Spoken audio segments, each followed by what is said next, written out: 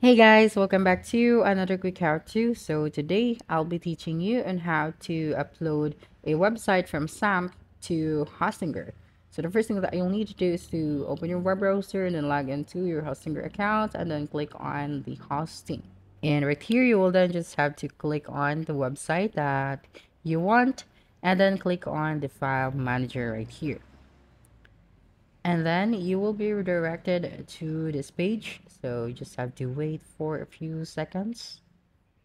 And you'd be able to see this folder right here the public underscore html so you just have to click on this one.